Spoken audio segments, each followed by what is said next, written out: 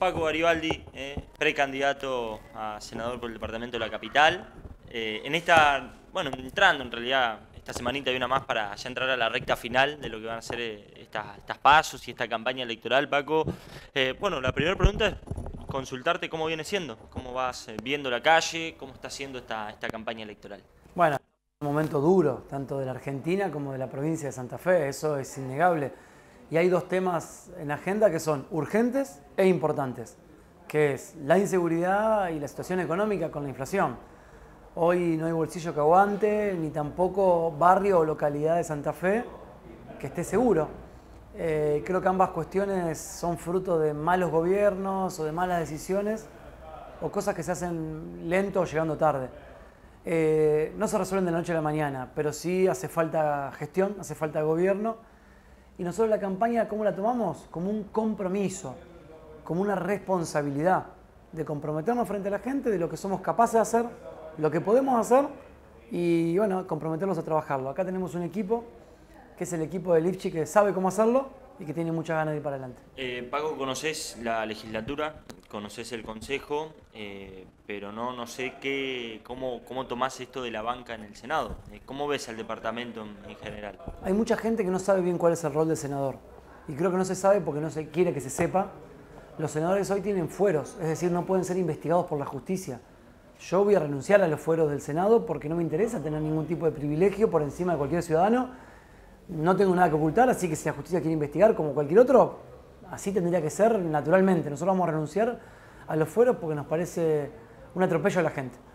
Y después lo que veo es que tenemos un departamento de la capital con enormes oportunidades, con mucho potencial, pero también con muchas dificultades. Nuevamente, la inflación y la inseguridad que golpean, pero obras que deberían llegar y no llegan en rutas nacionales, el puente, Santa Fe Santo Tomé que nos deben, no es una promesa, es un compromiso escrito que asumió el presidente Kirchner con el gobernador Obey y nunca cumplieron.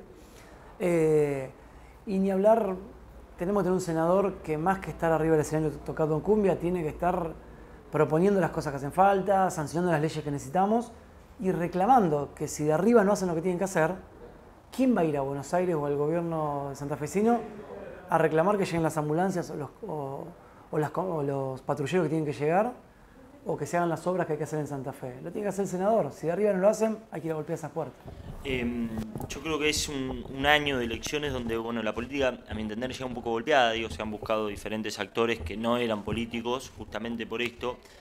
Eh, ¿Crees que hay que mejorar también la, situación de, del Senado en general, digo, con la mirada de, de, la gente, digo, de la sociedad en general, por cómo se ve hoy a la Cámara de Senadores? Totalmente. Si tenemos el Senado, que es un espacio importantísimo en la provincia de Santa Fe, pero la inmensa mayoría de la gente no sabe quién es el senador de la capital, qué es lo que hace, qué es lo que pasa adentro, y ahí hay un problema.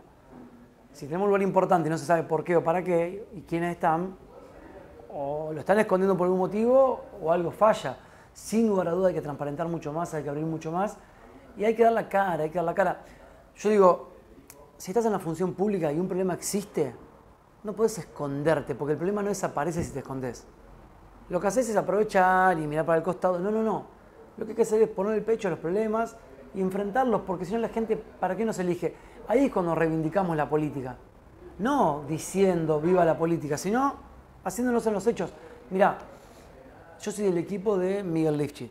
¿Qué nos enseñó Miguel? Entre muchísimas otras cosas, a trabajar incansablemente. Miguel asumió el día uno poniendo quinta a fondo y hasta el último día de su gobierno, habiendo perdido incluso las elecciones, no paró. No paró.